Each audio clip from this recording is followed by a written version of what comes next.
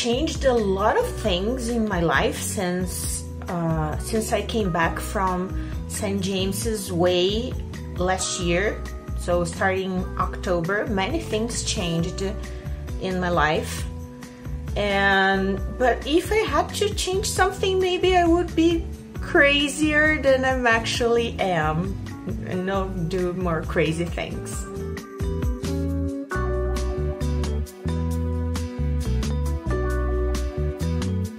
Friendship, and I mean true friendship, means a lot to me. Thankfully, I have very good friends, not a lot, but very good friends, and I consider them as my siblings, siblings from the heart and they mean a lot to me and I like to support them as they support me in all aspects of my life.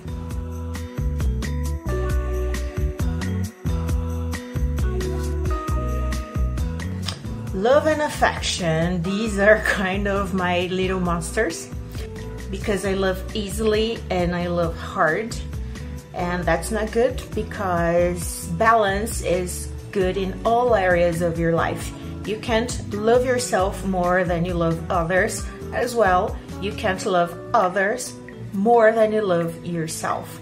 So I have to work on that balance. And sometimes it's very tough for me because, as I said, uh, my heart is kind of wild. It doesn't obey very much, though.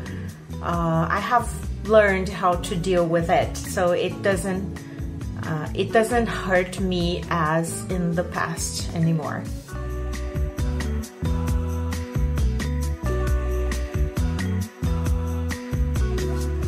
When we talk about family, I need to separate two parts of my family.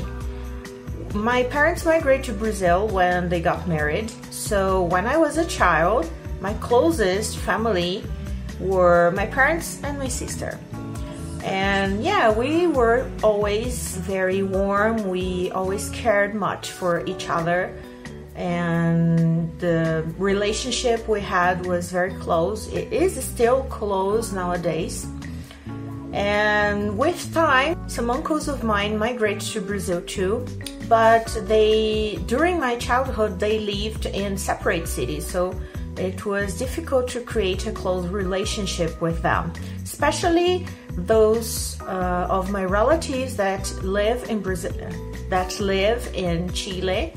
I use it to see them each two or three years. So we didn't really create close bonds as I have with my parents and my sister, though I love them very much.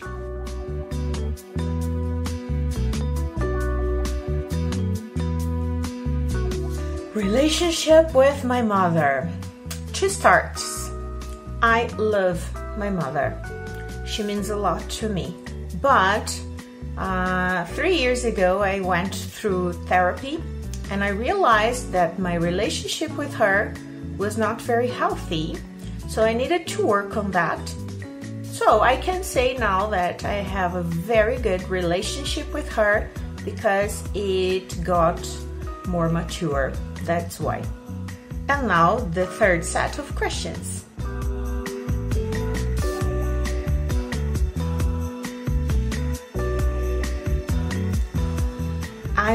Wish I had someone special to share my memories of travel and future travels because it's something I love and I would like to share this with my future partner.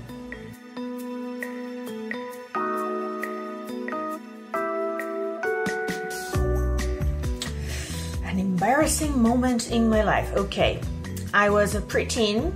I was around, I don't know, nine or 10 years old. And I went to participate in a camping with some kids from churches. One of the dinners was called Princesses and Princes Dinner.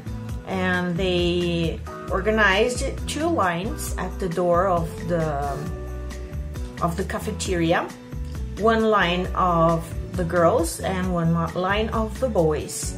And then the, the organizers made one boy have dinner with, with one girl on the line uh, in sequence.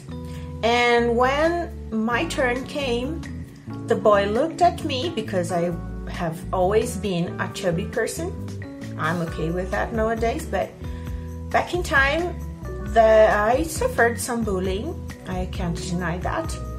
And that dinner in special was very embarrassing because the boy looked at me and said, I'm not going to have dinner with this fatty girl. Yeah, I suffered through many years with that. Luckily, I have overcame that, but it was really, really embarrassing.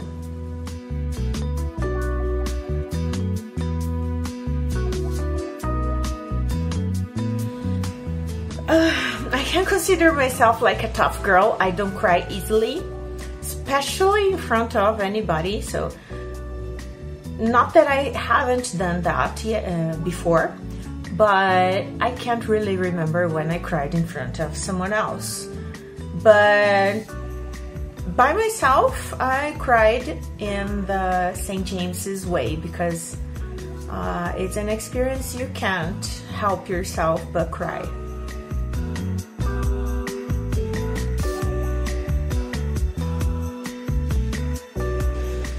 I don't really laugh with jokes about physical or mental conditions because uh, as I suffered some bullying while growing up, I don't accept that.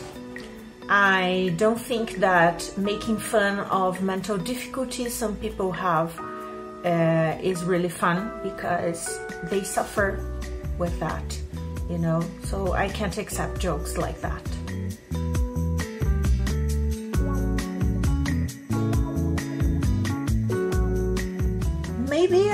Regret not telling a person I have in mind now that I really like him, that I miss him, talking to him and but I don't know if I would do that and I haven't done that yet because life and men have taught me not to.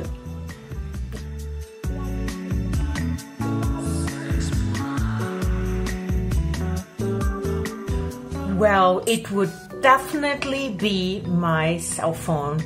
Obviously, no doubt about it.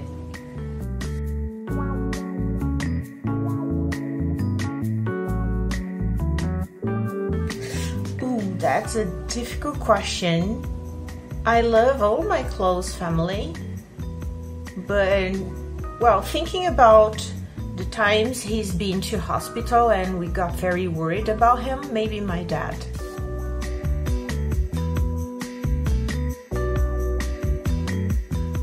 Guys, I think this is it. Okay, I try to be. Uh, I truly poured my heart here.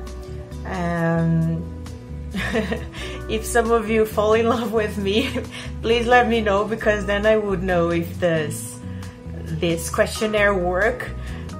But if you are curious about if this works really with a partner, I will leave you the link for the for the article and for the questions.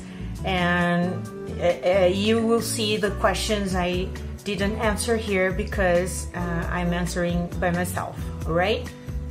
I think this is it for today and I hope to see you on next week. So kisses. Bye bye